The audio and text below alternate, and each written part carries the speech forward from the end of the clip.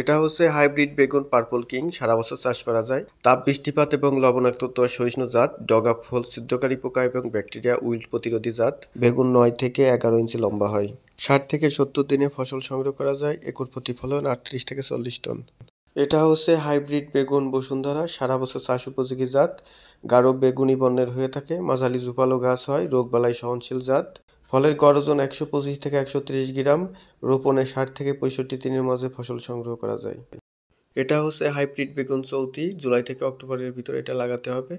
সারা বপনের পঁয়তাল্লিশ থেকে পঞ্চাশ দিনের ভিতর ফসল সংগ্রহ করা যায়, ফল আকর্ষণীয় বেগুনি রঙের। বেগুন বারো থেকে তেরো ইঞ্চি লম্বা হয়, একর প্রতি ফলন বিয়াল্লিশ থেকে পঁয়তাল্লিশ টন। এটা হচ্ছে হাইব্রিড বেগুন ললিতা, সারা বছর চাষ উপযোগী। এটি উচ্চমাত্রায় ঝিমিয়ে পড়া রোগ এবং ব্যাকটেরিয়াল উইল্ড সহনশীল জাত।